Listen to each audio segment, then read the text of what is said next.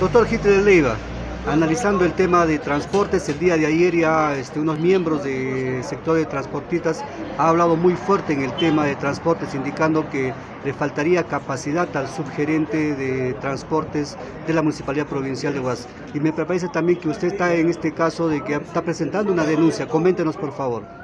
Bueno, yo saludar a tu público oyente. Eh, hay que entender de que el tema de la administración pública en el transporte provincial eh, han llegado con un ánimo de desmantelar a los guaracinos en el tema económico.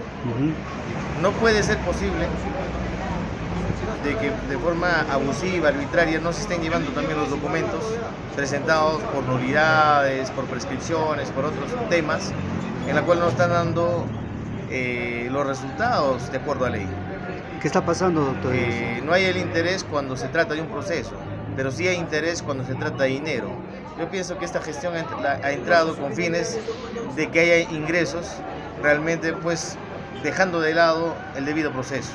Entonces, eh, en mérito incluso hay vehículos que están siendo internados al depósito municipal sin causa ni motivo y peor aún sin tener papeletas.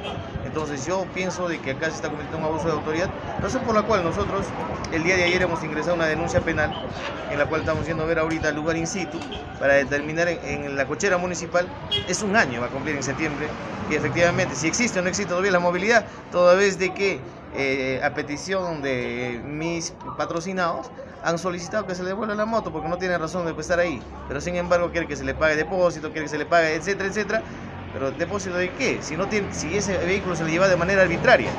Entonces, razón por la cual hemos, lo hemos denunciado.